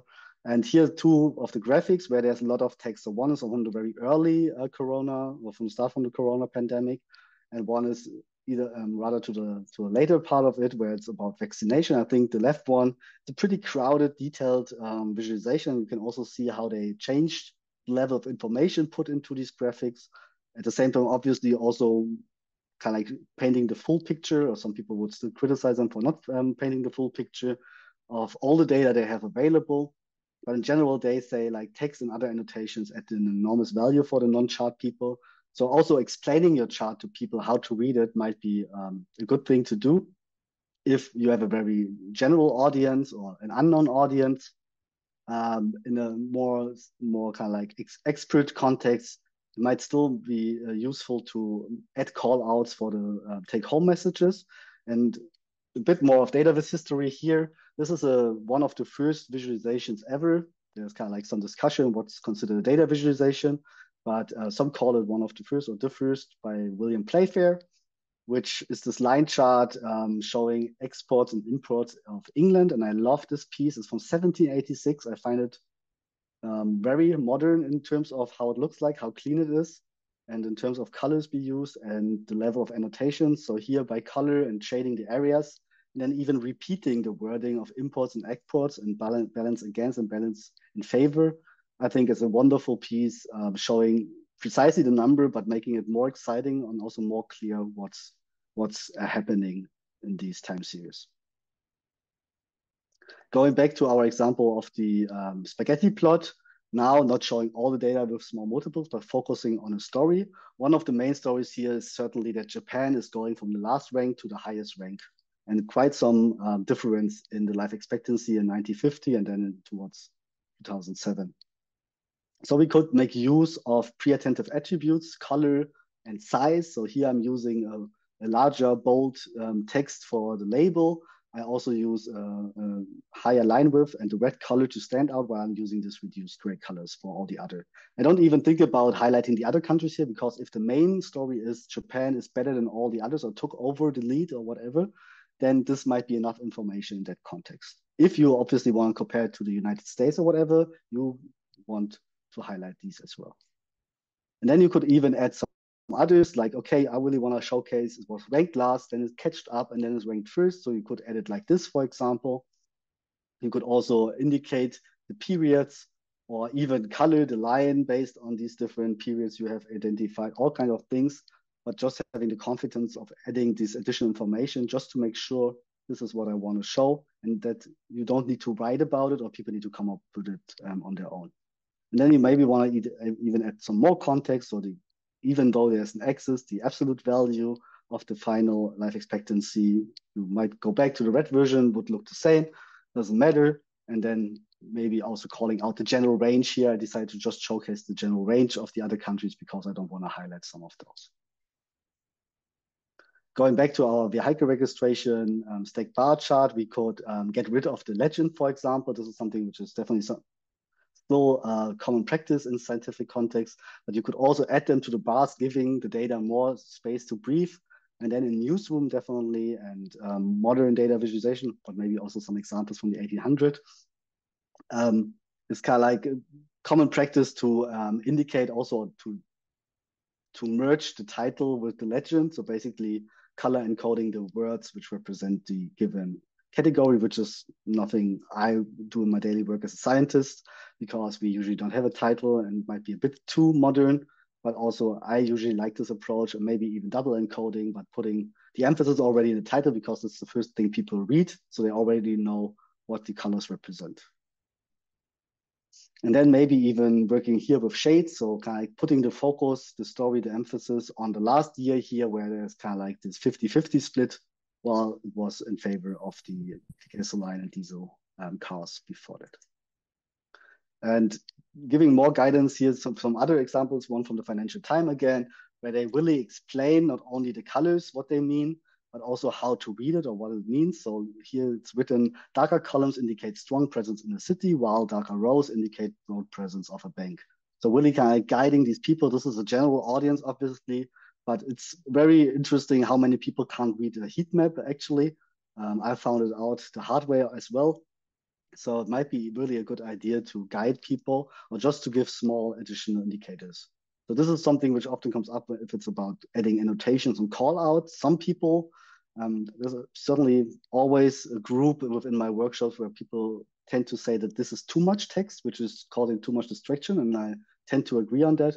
I think there are lots of interesting additional information, uh, which I particularly love is this human relatable um, um, indicators of size here, because this is about million square kilometers. I think this is a nice indicator of um, what actually 10 million square kilometers represent.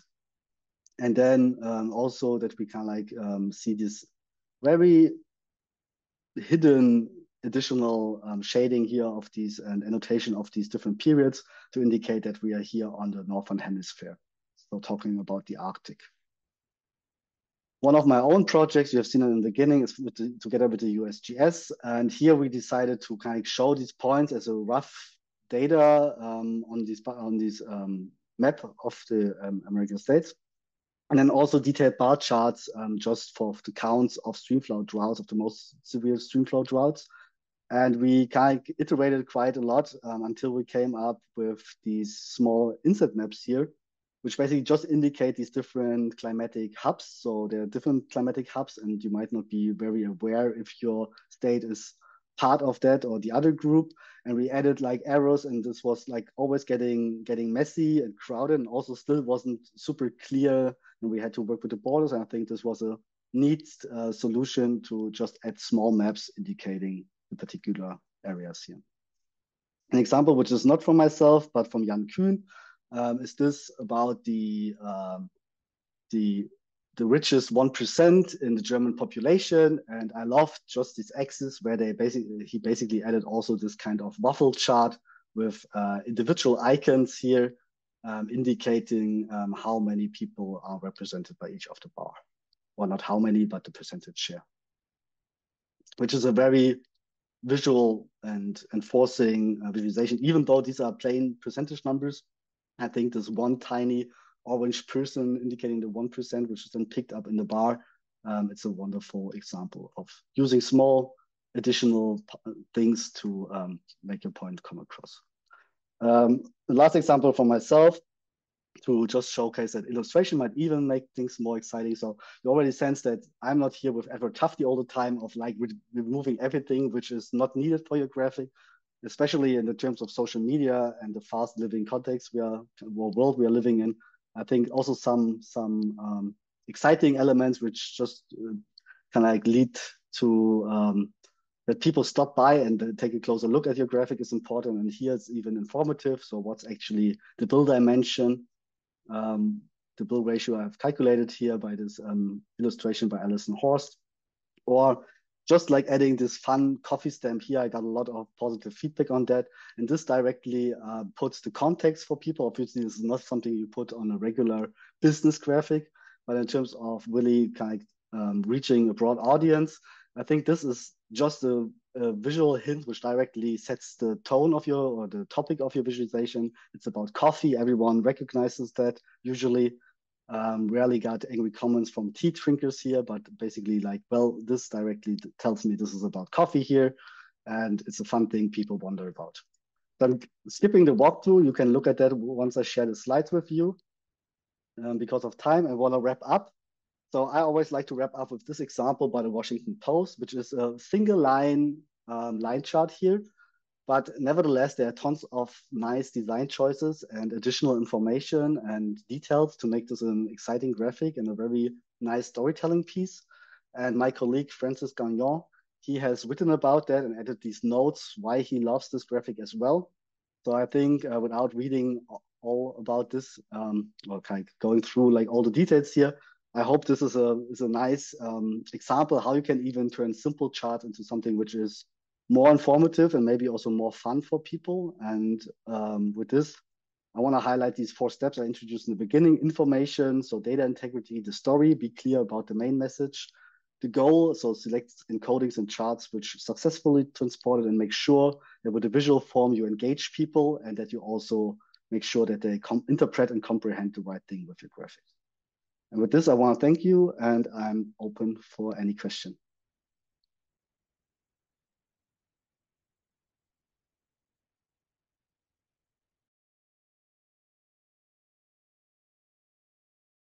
All right, thank you, Cedric, for your great presentation. Uh, I just joined like a few minutes ago. Sorry, I couldn't be since the very beginning, but it's a great pleasure uh, having you here Thanks. with all K State students. This is super useful for us for what we do, and and it kind of like uh, shows a guideline on how to represent our re the research we do in a nicer way. So if there's any questions for Cedric, please feel free to drop them on the chat. I can just read them for him or uh, just feel free to jump in and ask any any questions you might have. Exactly. Content or non-content of the slides, all fine. Or I would also be curious otherwise if there are no questions or to fill the gap. If if you are kind of like using these dynamite plots I've showed, if this is something you see in your field or um, from people from the stats world, I often get this like, yeah, you should not rotate your bar charts. There are several rotated bar charts here. You want to keep the independent and dependent variables strict on the y and x axis, things like that. Comments on that?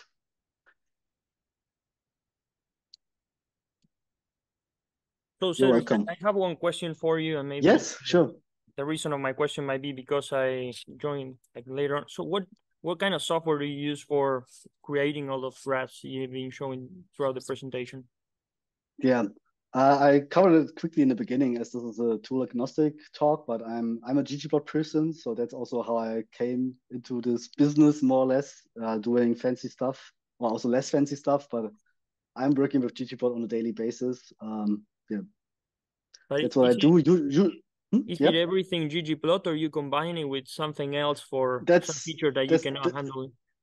Yeah, that's that, that's definitely uh, something I'm oops, I'm changed um, um, more recently, basically. So lots of these graphics you see here, um, these are definitely all done because these are basic charts with ggplot. Just wanted to move to, um, so these are all done completely in ggplot. But the USGS one, for example, here, this is 97%, but I didn't take the effort to place these small maps there. It would be possible, but if you know a bit about ggplot, it's very difficult with the facets and moving the maps exactly there. So this would just take longer. And this is a once in a lifetime piece and not something I update regularly. I just decided to do it by hand. Um, so I used Figma for that, or other people use Illustrator or Inkscape nevertheless, um, coding is perfect because it's a nice thing. You think always it's the once in a lifetime adjustment you do, and then you have to do it again. So I usually do 90 to 100% uh, code based, and then especially with annotations and the, the details, I often do them afterwards if it's not needed. I also um, work in collaboration with people or with clients who, who have Shiny apps or directly automated reports with R Markdown and Quarto. So there we need to come up with, with a solution where everything is generated by code. So the answer is ggplot most of the time, and then as much as possible while keeping in mind the efficiency. As I'm a freelancer, I need to be to take care of that as well. Hmm. All right, and scientists you. as well. You're welcome.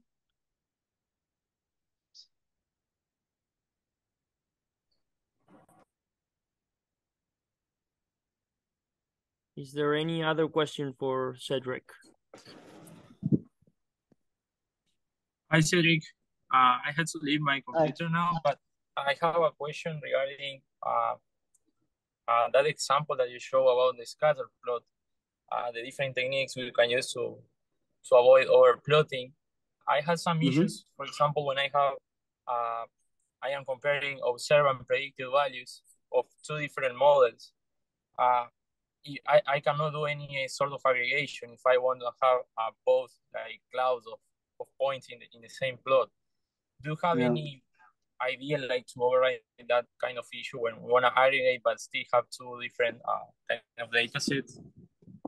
Yeah, that, that's that's a tough one. Um, so besides calculating some summary statistic, which you likely have considered and want to show all the raw data points for one or the other reasons, I think what would definitely work is some of the density contour lines. Um, nevertheless, it's a very rough estimate, right? But it would basically highlight. So I think if you're really having two groups of very distinct patterns, that could work, like having one in green and one in purple or whatever. And if they don't fully overlap, and you might see, okay, one is going to one side and the other to the other side, that could work. It, it depends a lot on the data. It's the same with overplotting. Um, so if you have in general also the problem that that you kind of like can't pick a transparency, which really is useful for both areas, um, then it's getting even more tough. If you kind of like not so much the worries about that, but it's really about overplotting, like having red points on top of blue points.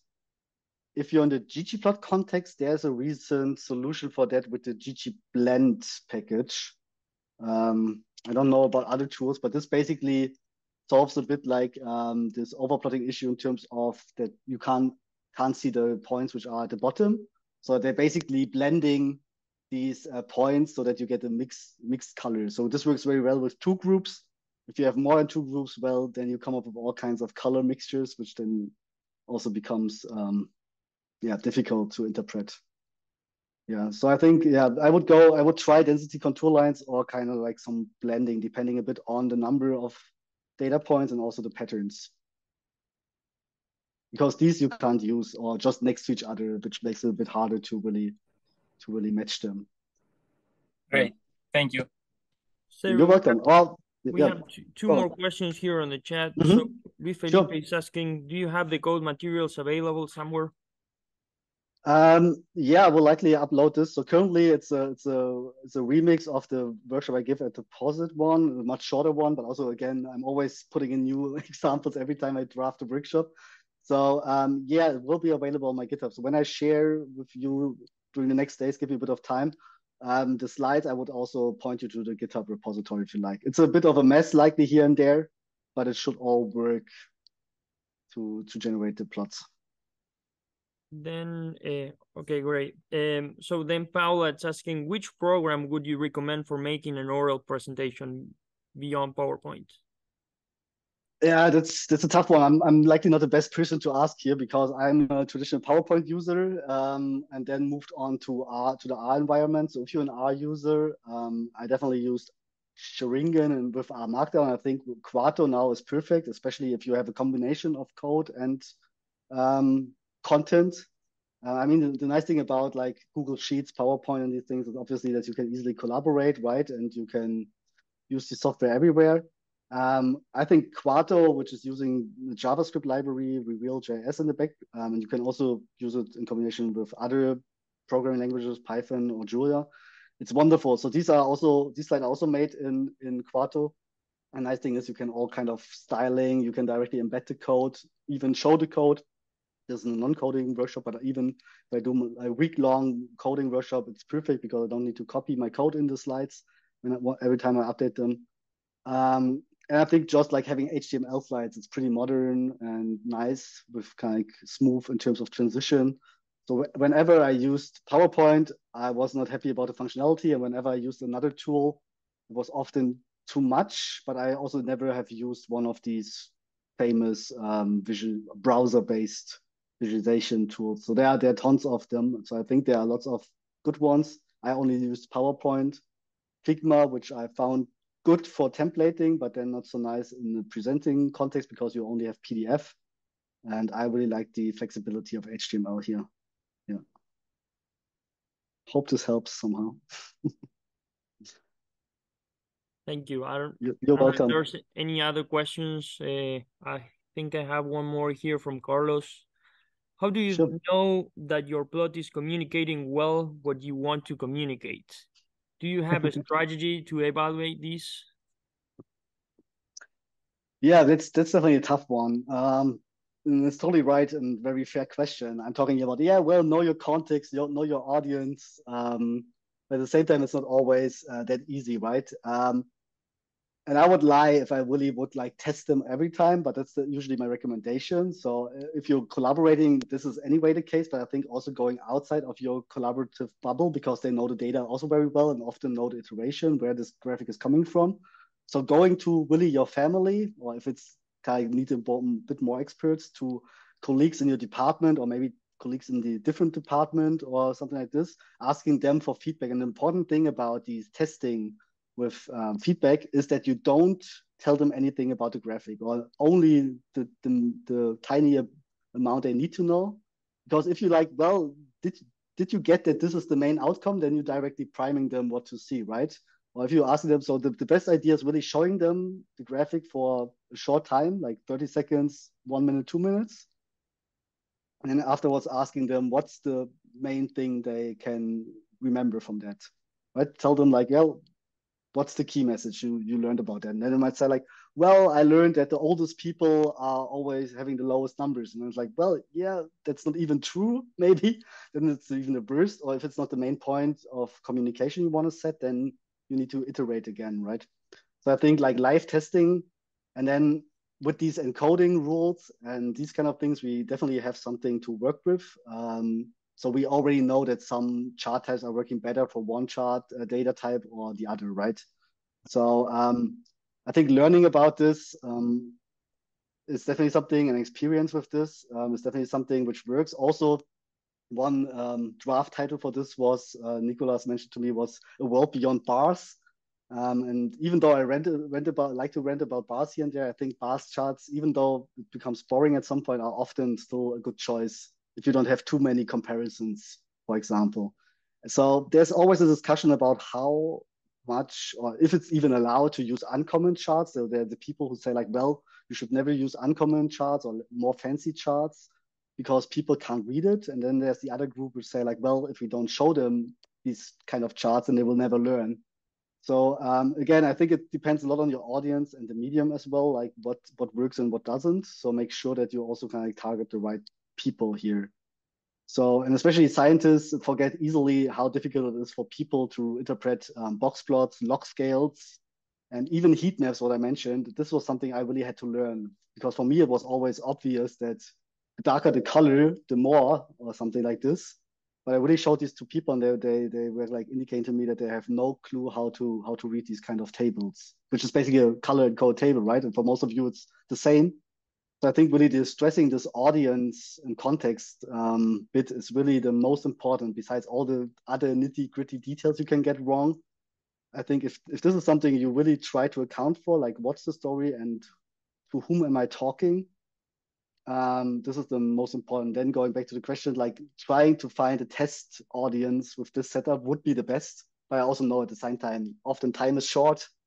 Um, the other people time or you like working on the graphic, being late one day before the presentation, right?